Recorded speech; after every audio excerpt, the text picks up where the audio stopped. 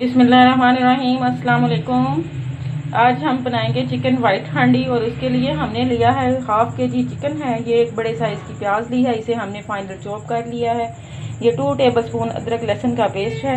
तो हम बनाना पहले स्टार्ट करते हैं।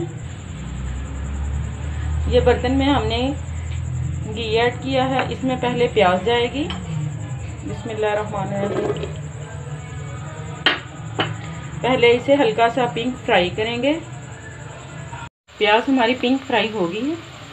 अब इसमें अदरक लहसुन का पेस्ट जाएगा। बिस्मिल्लाहिर्रहमानिर्रहीम साथ ही इसके चिकन ऐड करेंगे। और ये हमने तीन सब्ज़ मिर्चें ली थी, उनको ऐसे हाफ़ कर लिया है। ये जाएँगे। अब हम चिकन को फ्राई करेंगे।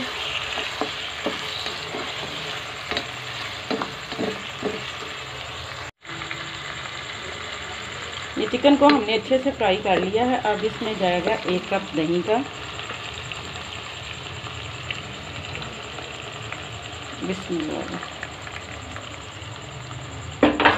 साथ एक कप हमने दही का ऐड किया है। वन टीस्पून धनिया पाउडर ऐड किया है। One teaspoon white pepper add की है। और वन टीस्पून ये ज़ीरा पाउडर जाएगा इसमें। और वन टीस्पून ही हमने साल्ट ऐड किया है साल्ट टू टेस्ट जाएगा। तो अब इसे हम अच्छे से मिक्स करेंगे। दही ऐड करने के बाद हमने इसे दो से तीन मिनट में मज़ीद भून लिया है।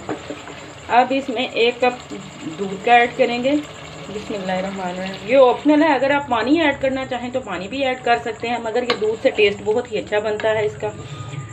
बिल्कुल रेस्टोरेंट जैसी वाइट हांडी बनती है। अब हम इसे 10 मिनट के लिए कवर कर देंगे ताकि चिकन में जो कसर है वो अच्छे से पक जाए। चिकन का पानी खुशक हो गया है। चिकन हमारी अच्छे से पक गई है। अब इसमें जाएगी half teaspoon black pepper. Black pepper कभी भी पहले ऐड नहीं करनी चाहिए क्योंकि इससे इसका कलर जो है वो अच्छा नहीं रहता। अब इसे मिक्स करेंगे।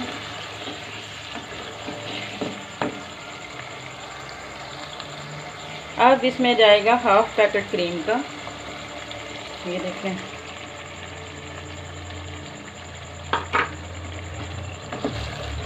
अब इसे एक से दो मिनट और चलाएँगे।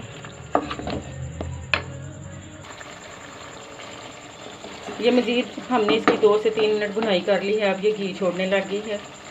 ये चिकन हांडी। अब हम इसे निकाल लेंगे। ब्लैक ये देखें, चिकन वाइट हांडी बहुत ही ज़बरदस्त और बहुत मज़े की बनकर तैयार होगी। इसकी खुशबू तो बहुत लाजवाब आ रही है। आप भी इसे ज़रूर ट्राई करना। अगर आपको ये मेरी रेसिपी पसंद आए तो प्लीज़ मेरे चैनल को सब्सक्राइब करें लाइक करें शेयर करें और कमेंट में मुझे ज़रूर बताएँ ये रेसिपी आपको कैसी लगी। और बेल आइकॉन का बटन प्रेस करना ना भूलिएगा, ताकि आप मेरी हर आने वाली रेसिपी देख सकें। और अपना बहुत सा याद रखिएगा और हमें भी दुआओं में याद रखिएगा। अल्लाह हाफिज़।